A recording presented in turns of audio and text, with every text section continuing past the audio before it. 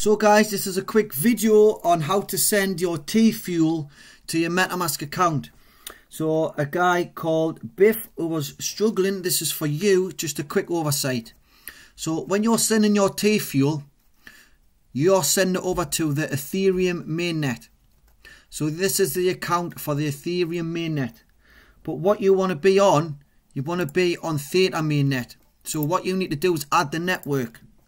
So as you can see, I've got the Ethereum mainnet and I've got the, the AVAX Avalanche uh, mainnet too. So I'm going to show you how to add Theta.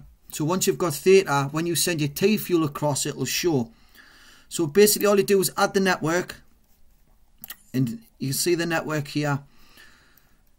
You just copy and paste these into the boxes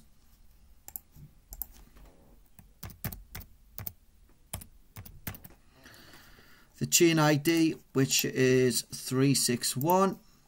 361. The currency uh, symbol, which is obviously T fuel. T fuel. And the block uh, explorer. Copy that in. Right click it and paste it.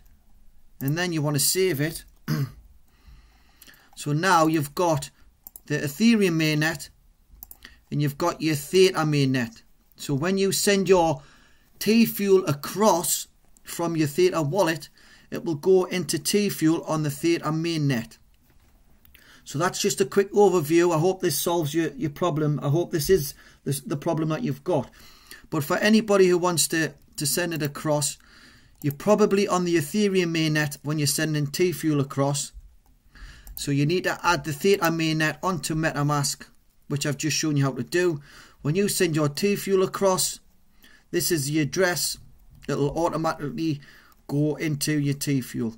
So yeah, that's just a quick overview. Hope, hope it was helpful, Biff. And if you like this video, give it a like. If you want to subscribe for future videos, then hit the subscribe button. But other than that, I'll let you enjoy your weekend and I will speak to you soon.